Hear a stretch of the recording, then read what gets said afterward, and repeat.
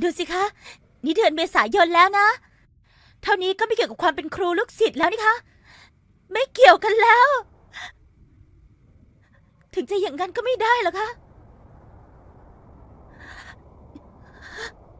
April Fool Day นะคะ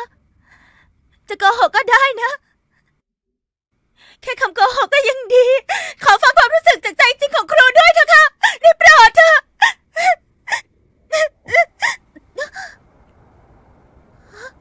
ที่ผ่านมาฉันน่ะ